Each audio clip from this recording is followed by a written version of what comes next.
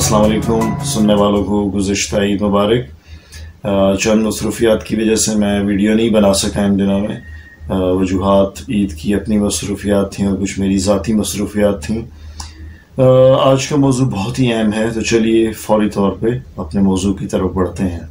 Vitamin पर मुश्तमिल अद्वियात expire होने के बाद या अपनी मियाद पूरी करने के बाद मुजर सेहत नहीं होती बल्कि अपनी मैक्सिमम पोटेंसी या मैक्सिमम अफादियत खो देती हैं।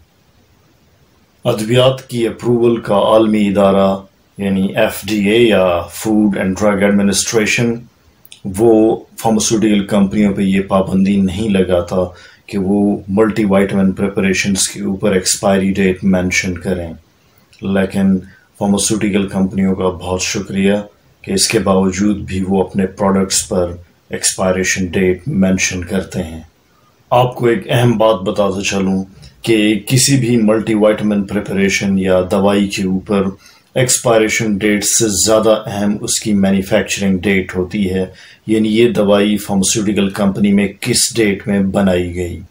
और हर मल्टीवाइटामिन की एक्सपायरी दो साल होती है।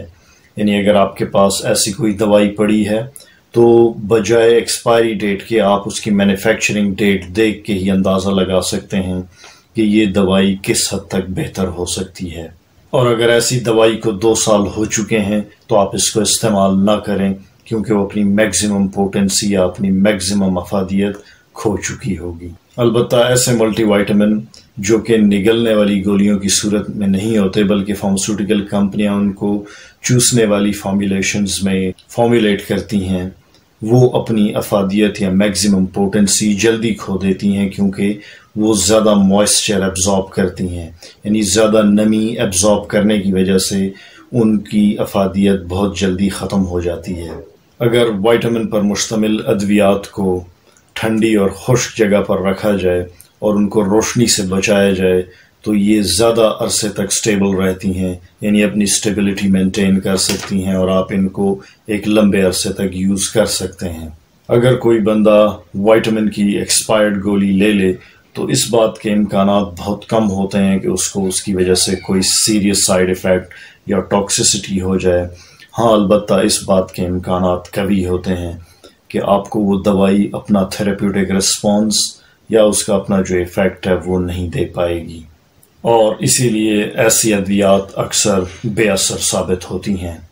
लेकिन एक बात आपके मद्देनज़र रहे कि अगर कोई वाइटामिन की गोली अपना रंग तब्दील कर दे या अपना जायका तब्दील कर दे या अपनी स्मेल तब्दील कर दे तो ऐसी सूरत में आपने उस मल्टीवाइटामिन को या वाइटामिन को नहीं इस्तेमाल करना, बल्कि उसको फौरी तौर पे डिस्कार्ड या तल्फ कर देना है।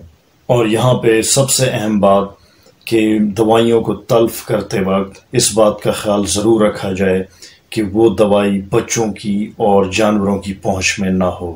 किसी भी सूरत अपनी अद्वियात को किचन में या बाथरूम में ना रखें, क्योंकि किचन में गर्मी ज़्यादा होती है और बाथरूम में ज़ाहिर नमी ज़्यादा होती है और ये दोनों फैक्टर्स दवाइयों को डिग्रेड करते हैं या उनको ख़राब करते हैं और ये दवाइयाँ आपके लिए नुकसानदेह हो सकती हैं।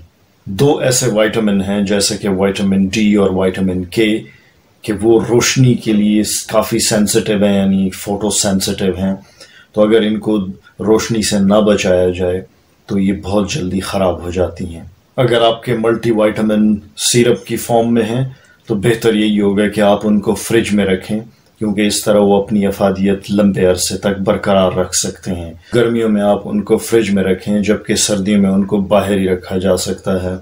शर्त यह है कि बाहर वो रोशनी से बचे रहें। एज ए फार्माकोलॉजिस्ट मेरा आपको मशवरा यही है कि अगर कोई भी दवाई एक्सपायर हो जाए तो आप उसको इस्तेमाल ना करें। मिलते हैं किसी और वीडियो में। तब तक के लिए अल्लाह हाफिज़।